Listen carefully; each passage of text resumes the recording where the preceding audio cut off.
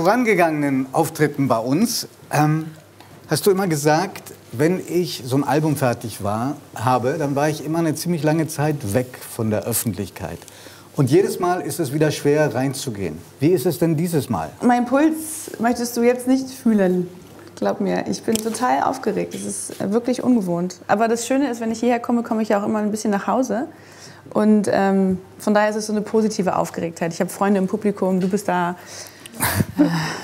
Wobei man Tierpathologen haben wir auch dabei. Wenn ich helfen kann heute Abend, ja. Wo, wobei man wirklich einmal klarstellen muss, deine Zeit in Delmenhorst war nicht so lang wie deine Zeit in Bremen. Eigentlich bist du mehr Bremerin als Delmenhorsterin? Nö, in Bremen habe ich ehrlich gesagt noch nie gewohnt. Da habe ich ab und zu geschlafen, Aber, wenn es ganz aber, spät aber wurde. Hamburg, war, an Hamburg war, war länger als alles andere, oder? In Hamburg habe ich die ersten zehn Jahre gelebt, die ersten neun Jahre. Dann nach Delmenhorst und dann bin ich mit 16 schon ausgezogen, ein bisschen weiter aufs Land. Kennt man nicht, Hasbergen, weiß nicht, ob man das kennt. Kleines Dörfchen. Hier, hier kennen die alles. Und dann äh, bin ich nach Amerika gekommen und dann wieder nach, dem, nee, nach Wildeshausen gezogen. Also mein Herz ist überall zu Hause. Ja. Okay.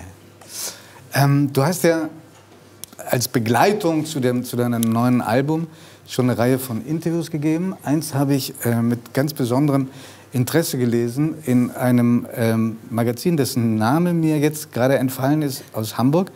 Und da hast du ähm, geträumt und bekannt, was du für eine unglaubliche Verehrung hattest für Michael Jackson. Schwieriges Thema bist momentan. ihm, ja, aber du bist ihm nachgereist, das war dein absolutes Idol. Du standst auch mal mit ihm auf der Bühne. Hier im Chor. Weserstadion. Im Weserstadion, genau. Äh, er hat auch mal zu dir gesprochen. Was hat er denn zu dir gesagt? Naja, ich habe natürlich erst zu ihm gesprochen. Und was habe ich natürlich gesagt? Du bist großartig. Ich, Nein. ich liebe dich. I love you. Natürlich, I love you. Und was hat er gesagt? I love you too. Ich bestimmt, exactly. ja. Hier, die Das war ein Psychologin hat großartiger- sofort verstanden. Ein großartiger Dialog, ein ganz kurzer, aber äh, den habe ich natürlich nie vergessen. Und hast du dir irgendwann mal vorgenommen, diesen Mann werde ich verehren und verteidigen bis ans Lebensende? Also bis an sein Lebensende habe ich ihn ja verteidigt. Ähm, jetzt mittlerweile ist es anders, muss ich sagen. Ich habe diese Dokumentation gesehen. Ich war wirklich erschüttert und äh, ich war noch klein, als ich dieser Riesenfan war. Das- Amerikanische, die jetzt äh, vor kurzem Genau, dann auch in Leaving Deutschland. Neverland. Und äh, da muss ich sagen, ähm, ich, ich, es fällt mir echt jetzt schwer. Es kam neulich Man in the Mirror im Radio und ich fuhr nach Hause und habe das laut gemacht. Und ich habe echt gekämpft, weil ich so dachte, ich weiß gar nicht, wie ich das jetzt hören soll. All meine Erinnerungen, die ich an diese Musik habe, an die Zeit, an ihn. Ich muss noch lernen, glaube ich, das jetzt zu trennen, das Werk vom Künstler und ob das überhaupt Aber geht. das ist ja eine Diskussion, die jetzt in vielen Bereichen geführt Mhm. wird. Ja? Im Film, in der, in der Kunst. Äh, Immer einer- schon eigentlich. Ja. Na, aber im Moment wieder eine bes- besonders heftige Welle. Ein Mann wie Woody Allen, der noch nie verurteilt wurde, der ist in Amerika von vier Verlagen mit seiner Biografie abgelehnt worden, Autobiografie, Mhm. und hat in Amerika jedenfalls auch noch keinen Verleiher gefunden für seinen äh, neuen Film. Glaubst du, dass man das trennen muss, Werk und äh, Künstler? Nee, wir tun es ja schon lange. Wagner war auch ein be bekennender Antisemit. Ne? Also von daher. Wagner. Wir tun das ja schon lange. Also irgendwie, wir hören die Musik, wir, wir gucken die Kunst an. Ähm, jetzt ist es für mich halt gerade persönlich ganz akut, weil das eben Michael Jackson ist. Ich kann nur sagen, mir selber fällt es schwer, das zu trennen nach den Bildern. Und es war sehr eindringlich, wie die Jungs das beschrieben haben. Heute Männer, heute selber Väter. Und das hat natürlich meine ganze Erinnerung an diese Zeit, in der er da parallel dieses Leben geführt hat, habe ich ja parallel die Stadien dieser Welt besucht und bereist und davor geschlafen und ihn verehrt. Und er war mein Zufluchtsort. Er war meine heile Welt. Ähm, raus aus meinem Leben habe ich mich in meine Poster reingeträumt mit ihm. In meinem Traum habe ich sogar mal äh, äh, in der Küche mit ihm gesessen und er hat mir Armbrot gemacht. Ist nicht wahr? Konntest Also, du, was- konntest du auch richtig vornehmen, ich, äh, ich träume heute Nacht von Michael Jackson? Ja, ich konnte das richtig steuern eine Zeit lang. Ich weiß nicht wie, aber als Auch eine kind, Fortsetzung? Ja, ich bin extra manchmal sogar früh ins Bett gegangen, weil ich dachte, ich gehe jetzt, ich treffe jetzt ein Date. Und wie fanden das deine Eltern? Du, die haben das, glaube ich, gar nicht so richtig mitbekommen. Die hatten damals andere Themen, andere Sorgen. Was hinkt denn bei Ihnen, äh, Lars, im, im Jugendzimmer? Aha. Aha, ah, okay. Nur die. Nee, aber ich habe auch gerade kurz gezögert, ob ich das jetzt sage, aber warum nicht? Also, ich hatte auch meinen ersten feuchten Traum mit Madonna. Also, Ja. das ist schon, ist schon interessant, wie sehr man geprägt war. Auch auf Bestellung oder war das zufällig?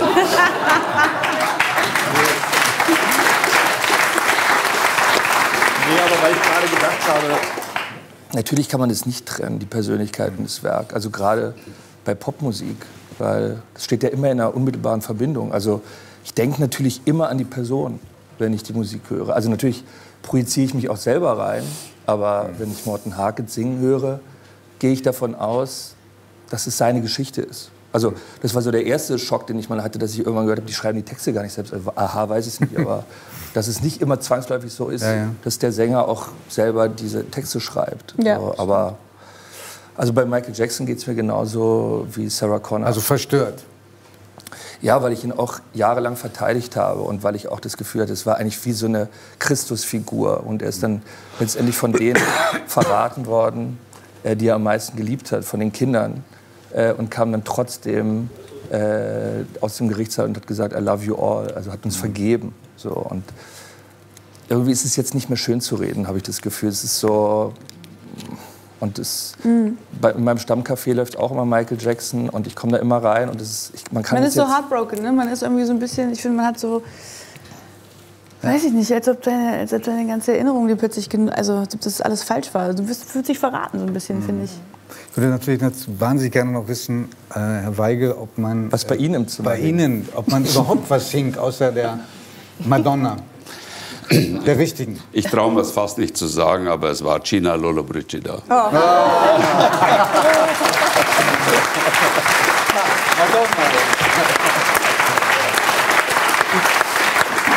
Und Sie werden es nicht glauben, vor 20 Jahren war in München ein Abendessen und sie sollte dabei sein. Und plötzlich beim Abendessen ist sie nicht dabei. Und da kommt ein Manager und ich sage, also jetzt habe ich sie ein Leben lang verehrt. Also das habe ich nur leise gesagt, damit es die Irene nicht gehört hat. Etwa, und jetzt ist sie nicht da. Und dann ging der hoch zu ihr und Sie werden es nicht glauben, eine halbe Stunde später war sie da. Und ich bin ihr dann begegnet Nee. und konnte mich mit ihr unterhalten. Was haben Sie gesagt? Bitte? Ich habe gesagt, dass ich sie immer verehrt habe und dass sie heute noch so schön sei wie vor 40 Jahren. Wie haben denn deine Kinder reagiert, als sie diesen Song zum ersten Mal gehört haben? Die haben geweint. Du hast es ihnen wo vor, vorgespielt? Äh, oh Gott, ich muss mal kurz. Ja. Oh Mann. Frag lieber irgendwie jemand ich, anders so. irgendwas. Ich kann niemand anders so richtig fragen, weil äh, es, äh, ich glaube, alle haben hier mit den Tränen gekämpft. Okay. Also da müssen wir jetzt zusammen durch. Aber pass auf, dann sage ich was, was, äh, was äh, vielleicht ein bisschen heiterer klingt. Ich hatte ja schon, Bloß nicht, jetzt bin ich auch noch streicheln. ich hatte ja Oh Gott, äh, ich habe bei der Probe schon nicht geschafft heute. Das ist das erste Mal, dass ich Ich so. wollte gerade auf die Probe zurückkommen. Da war es ja, auch da haben mehrere wirklich die Fassung verloren. Aber was so erstaunlich ist, wenn du singst und wenn man die CD dann dagegen äh, vergleicht, es gibt überhaupt keinen Unterschied. Äh, Du triffst genau jeden Ton wie bei der Aufnahme. Ähm, daran musste ich denken, als wir vorhin über Madonna gesprochen haben. äh, ah, jetzt habe ich doch dich zum äh, Lachen gebracht, weil äh, das ist jetzt ein harter Übergang, aber ich dachte, ich baue dir eine Brücke. irgendwie. Das ist nett, ja. Also ich liebe Madonna, mindestens genauso doll wie Lars. Ähm, ich finde es auch total Quatsch, auf Madonna so raufzuhauen nach dieser ESC-Geschichte, weil ich finde, die waren auch nie bekannt für, ihre Live für, für ihren Live-Gesang. Also man geht ja nicht zum Madonna-Konzert, um sie live singen zu hören, sondern um sie zu erleben als, als Person. Ähm, so, ich glaube, ich habe mich wieder im Griff. Okay. Dann, dann frage ich auch keine Details mehr Nee, zu den nee, nee, Songs. nee, du kannst ruhig fragen. Ich habe den Ich Song mit meinen Kindern äh, gehört im Auto. Wir hören immer im Auto Musik, äh, wenn ich sie irgendwo hinbringe oder wenn wir von der Schule nach Hause fahren. Und der Song lief, weil ich die, das abnehmen musste, den Mix. Und als, ich, als sie einstiegen, habe ich ihn ganz schnell leise gedreht. Und dann waren wir darauf bestanden, den zu hören, weil sie immer alles hören wollen, um vorbereitet zu sein.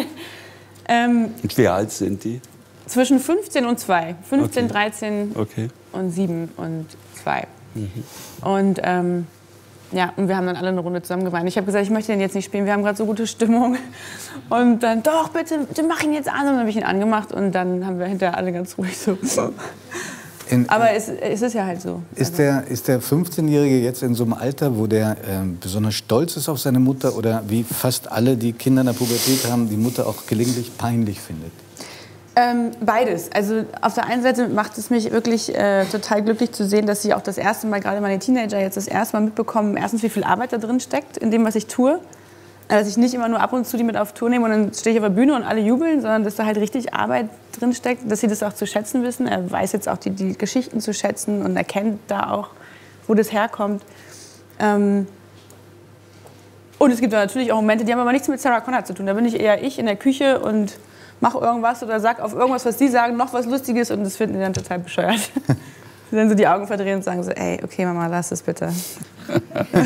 ich so, hä? Ich bin, du bist überhaupt nicht cool. Du bist wirklich, du bist meine Mama und ich liebe dich, aber du bist nicht cool. Und ich so, ey, es gibt total viele Leute, die finden mich richtig cool. also, nee. Aber ich meine, der ist doch psychologisch wahnsinnig geschickt. Der sagt erst, ich liebe dich und ich finde dich großartig. Ja, ja. Aber das ist Wahnsinn, oder? Ja, ja. Das ist noch brutaler dann. Ja. Höre ich eher nicht. So. Nee? Nee. Also in dieser Kombi nicht. Also entweder ganz peinlich oder ganz okay. Ah, okay. Du bist mit dem vor kurzem, hast du eine äh, Sch äh, Schlittentour gemacht, Hundeschlittentour. Ja. War das eine pädagogisch wertvolle Maßnahme oder sollte das eine pädagogisch wertvolle Maßnahme sein? Es war vor allem eine intensive Erfahrung, so ohne Strom und Wasser bei minus 20 Grad draußen schlafen, auf dem Schlitten den ganzen Tag mit deinem 15 Jahre. Also ich wollte es ja, dass wir das zusammen machen, weil im Prinzip stand er auf seinem Schlitten, so 500 Meter hinter mir, ich auf meinem. Und wir sind dann fünf Stunden lang in so einer Nordpolar-Outfit so gefahren. Mit Creme haben, im Gesicht, oder? Aber ganz toll, es war ganz, ganz toll, muss ich wirklich sagen. Wir sind mit dem Hendrik äh, Stachnau, heißt der, das ist ein Extremsportler, der macht das in Norwegen, bietet er das an und da ist man wirklich so ohne ohne alles. Man ist Aber das, das ist die wichtigste. Frage. Gibt es da Handyempfang? Also für 15-Jährige, sehr wichtig. Äh, es gab tatsächlich richtig guten Empfang überall, wo wir waren. Das ist ja Norwegen, also wahrscheinlich so ein bisschen so der. Bist du nicht Vodafone nicht da irgendwie aus mit der ihm Gegend? hingefahren, damit wegen Nokia früher. Nokia, genau. Nokia. Naja, auf jeden Fall das war eine Finnland. super. Finnland. Finnland, genau. Finnland war Stimmt. das. Wir hatten auf jeden Fall eine super Zeit da zusammen. Ich musste mir was einfallen lassen. Äh, mit 15, äh, der spielt am liebsten Fortnite und äh, ne, wie alle irgendwie und kriegt immer Gefrierbrand, ja, ja. wenn ich die Treppe hochkomme. Und ja, ja, ich mache aus. Und ähm, ich musste ihn ja erstmal aus seiner Höhle rauslocken da äh, und, und sagen, ey, hast du Bock, wenn wir sowas machen zusammen? Und dann sagte er ja. Und wir, wir sprechen heute noch drüber. Wir haben echt für uns beide natürlich eine, eine total tolle Zeit gehabt. Mhm. Wir freuen uns auf deinen zweiten Song, der ein bisschen später kommt. Ein bisschen lustiger ist. Absolut, verspreche ich. Herzlichen Dank erstmal für alles.